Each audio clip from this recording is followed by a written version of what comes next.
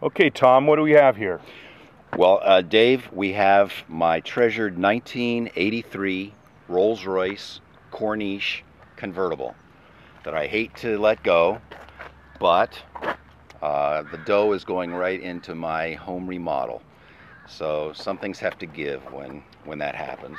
It's also good to see you again with the success you had selling my Sunbeam Alpine convertible a year or so ago. Uh, you were the guy that I wanted to talk to. Well, thank you very much. Appreciate it. Yes, this is uh, this is a car that I've I think I've loved since I was about 13 years old and saw one at a car show with my dad back in Philadelphia. I looked and looked and looked for the right car to buy, and uh, let me tell you, they're they're hard to find. Uh, Corniches were uh, the problem with a lot of Corniches were they weren't driven very much. So that means that the hydraulic system wears out over time, the rubber seals get dry. Actually, the, this is in, inverse to most cars in that the more you drive these, the better off you are. Uh, and so when I found this one that had uh, was a California car, it lived in Las Vegas for a very short time apparently. I'm not sure who owned it back then but it uh, was in really, really great shape and had been well taken care of. In fact, ironically, shortly after I got the car, I wanted to have a good mechanic look it over, so I asked around Los Angeles who the best Rolls Royce mechanic was, and it turned out it's a guy named Frank McLean in Encino. So I drove it, I'd made an appointment, I drove it into Frank's shop, and he, before he said even hello to me, he said, Hey, I know that car. He said, I've taken care of this car for the previous two owners. Wow. So he knew it very, very well. And I had him go all through it. Changed, we changed out the hoses. Uh, anything that looked like uh, it needed some work was done. But luckily, the car was in such great shape that not much was needed. And how many miles does it have now? It has, I believe, a little over 71,000 miles. These cars, by the way, are getting harder and harder to find on the resale market. And I couldn't figure out why until Frank or someone told me that a lot of these are being shipped to Europe and the Middle East, hmm. where they are extremely popular. And so uh, that would explain why you see less and less of them on the road. I keep the car all cleaned up and polished for car shows. And this, if I can show you right here, is one of the neat things. This is a mock-up, not the original, but a mock-up of the original window sticker for the car, just as it would have looked back in 1983 when it left the factory. And it's fun to look at because it shows everything that the car was ordered with. Here it shows that the exterior was Mason's black, the fine lines, which what they call pinstriping, are double tan. It came with a Connolly saddle tan uh, leather interior. Uh, and uh, then down here, all the standard equipment. Rolls-Royce Corniches had 6.7 liter aluminum V8 engines with Bosch uh, fuel injection. So they drive really, really nicely. Hmm. Of course, they have an automatic transmission. And what makes the, these kind of special is that they've got a really cool hydraulic system that uh, Rolls-Royce licensed from Citroen that keeps the car balanced all the time. So if you have 50 people in the back seat, it's still going to ride nice and level. Great. And then how much was this car new back in the day? Uh, I believe it was $146,000. That's 1983 money. Wow. So I guess that's equivalent to what a, a new Rolls-Royce convertible would go for today, about half a 1000000 mm-hmm. Here's, here's some Rolls-Royce trivia for you, Dave. That grill right there, which everybody thinks is perfectly square, is actually not. To, it's an optical illusion that the ancient Greeks discovered when they built the Parthenon. Hmm you have to round the corners a little bit, bow them out just ever so slightly to make it look straight. So this is slightly bowed, this is slightly, but everything's slightly bowed. Hmm. And there was only, there were only two guys, I believe, at Rolls-Royce in England who uh, could build these radiators. It's all hand soldered from a whole bunch of different pieces of metal. Nothing on that was pressed. Okay, Tom, what about this engine? Well, this is the uh, famous Rolls-Royce 6.75 liter aluminum V8. It's way down in there. This is the Bosch fuel injection. These two things here are part of the hydraulic system which control the height. And this here holds the hydraulic fluid, which is a special kind of fluid, and they warn you not to put the wrong stuff in here, and it just goes right in there. I take care of this car, you know, all the basics myself. It's so easy. Uh, the, the oil uh, is right there. Uh, Frank McLean, my mechanic, did do a neat little modification here. I don't know if you can see this switch.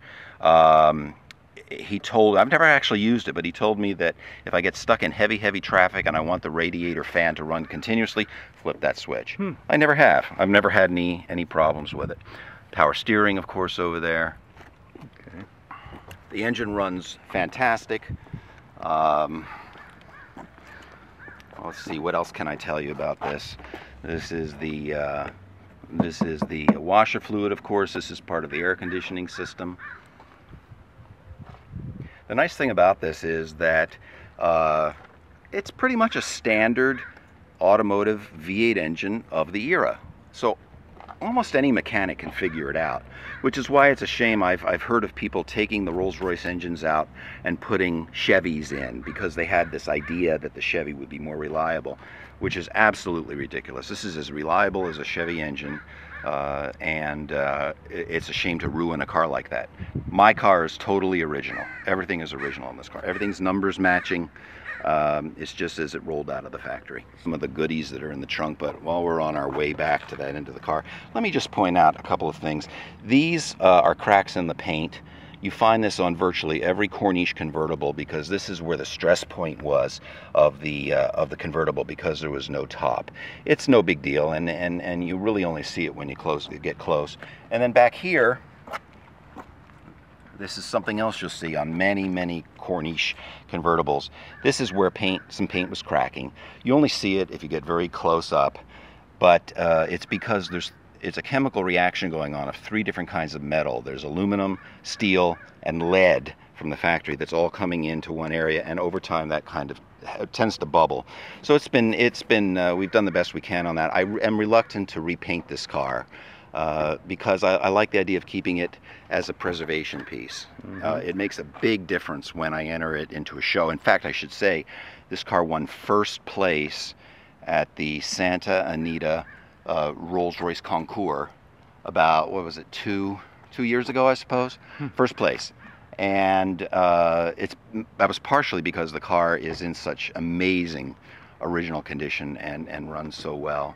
And uh, I should also tell you that my excitement about Rolls-Royce and Corniche led me to uh, become a board member of our local club, the Rolls-Royce uh, Owners Club of Southern California. Fantastic. This gift I'm throwing in for the new owner. First of all, before we get into it, let me show you something very, very special. This is an official Rolls-Royce picnic kit. These are almost impossible to find. Uh, this was this was put together by Rolls-Royce. Uh, it has uh, obviously the Rolls-Royce logo on all the, the plates. Uh, it's, it's a service for Ford. He has the logo on the knives and forks. This is all just as it came. There are the teacups, the um, thermos, uh, even even has a salt and pepper shaker. I've got a set of Baccarat champagne glasses, and here's Rolls-Royce logo uh, uh, tablecloth and napkins. We've had some great uh, picnics where I've used these, but I refuse to use any of this. Mm -hmm. I don't want. I don't want to take this out. This is a very, very valuable piece.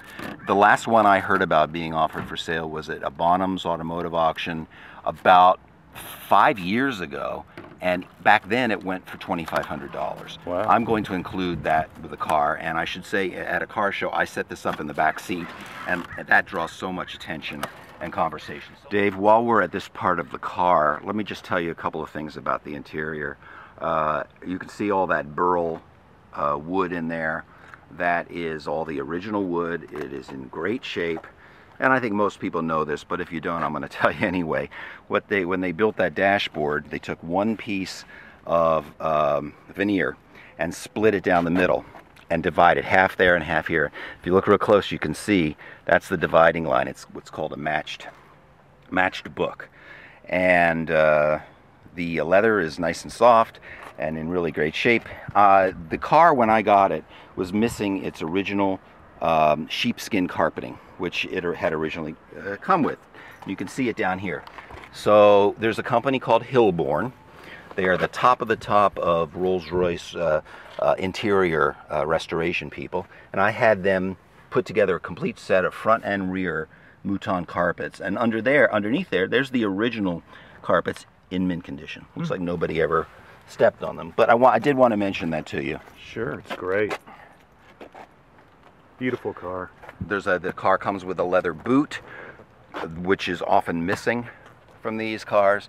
Just a quick mention of the top. The the the top uh, of the of the car, convertible top, is the original Everflex top. It is close to mint condition. There's not a scratch or a cut or anything. The the headline, the wool headliner, uh, is in superb condition. Uh, the power top works great. Uh, the hydraulics work fantastic. Um, all in all, the car is a dream to drive. It floats like it's on a cloud. It has it has uh, what I call old-fashioned suspension, so it really feels good on a bumpy highway.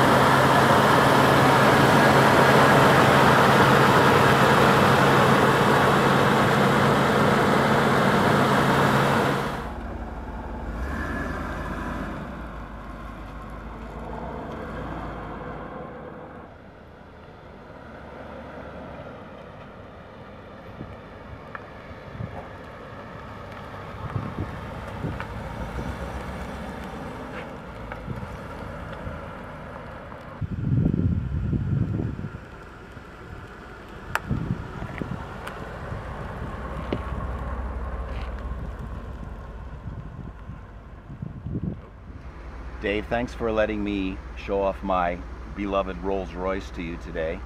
I hope it goes to a good home. I would give this bit of advice to anybody who's thinking about buying uh, a Rolls Royce from this era, particularly a Corniche. That's be careful what car you get in the beginning. Uh, there's so many instances I've heard of where people buy these just based on their looks and their excitement and then find out they need tens of thousands of mechanical work to, uh, to drive and that's what you want to avoid. This car, uh, my last plug to you is that this car is in uh, really, really good shape. I think you could take this and drive it across the country right now if you wanted. Uh, and uh, I, of the cars that are going to be out there and its competition for sale, I think this is going to be the best one. Well, So, that's super. thank you again. Okay, thanks very much, Tom.